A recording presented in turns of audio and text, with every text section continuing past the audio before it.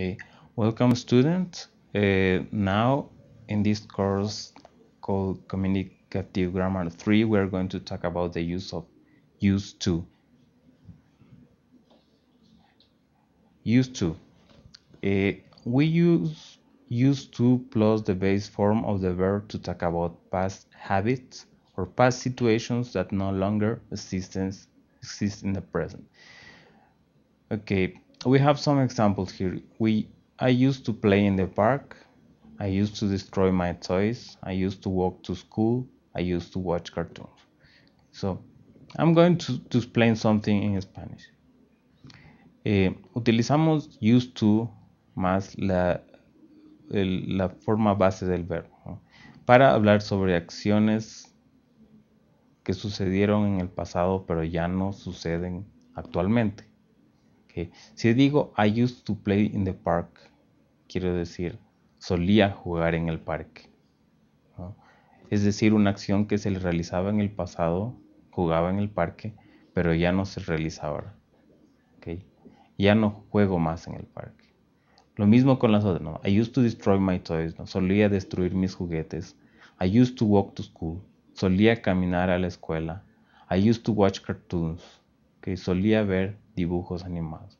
Todas estas acciones podemos decir que sucedieron, en este caso, en la infancia de la persona, pero ya actualmente ya no suceden más.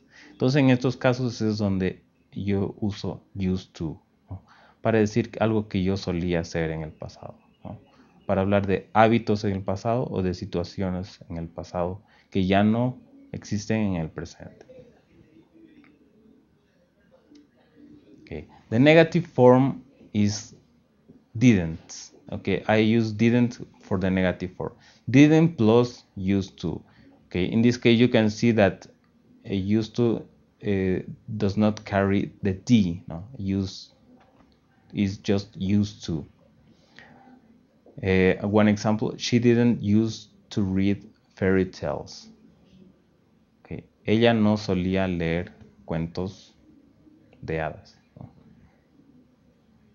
Pueden ver que estoy utilizando el didn't, pero el used to va sin la D, ¿no? Sin la D al, al final de used.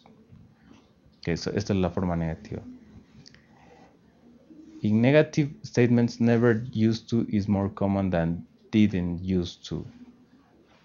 Okay, so you can see that when you want uh, to talk about a negative statement using used to, okay, it is more common to use never used to.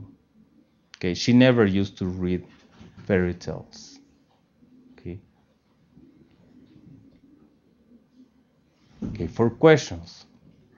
For questions, I use the auxiliary did.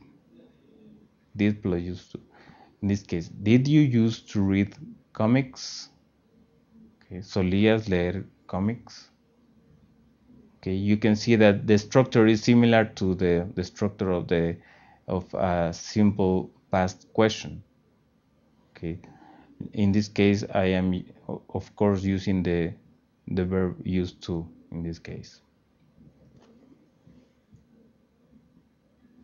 Okay, one important point that is important to remember is that you don't have to confuse the use of used to plus the base form with the use of be used to plus the base form plus ing or get used to plus base form plus ing. Okay. Eh, es importante no confundir el uso de used to más la forma base con el uso de be used to o con el uso de get used to, que son, tienen significados diferentes.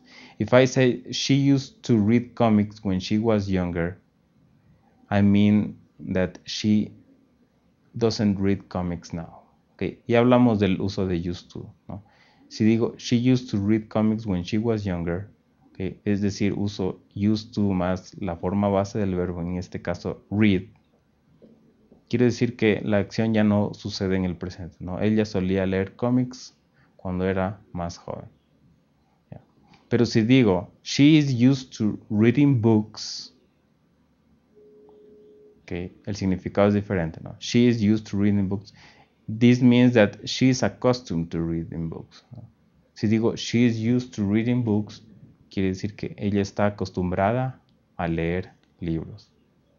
Aquí pueden ver que la estructura es incluso diferente, ¿no? Es el verbo be, used to, y el otro verbo va con ing. ¿no? She is used to reading, que es muy diferente a la estructura de used to. And if I say she'll get used to reading books online, aquí también está diciendo que ella, she'll get used to reading books online, ella se acostumbrará a leer libros online. También estoy diciendo que ella va a pasar por el proceso de acostumbrarse a algo.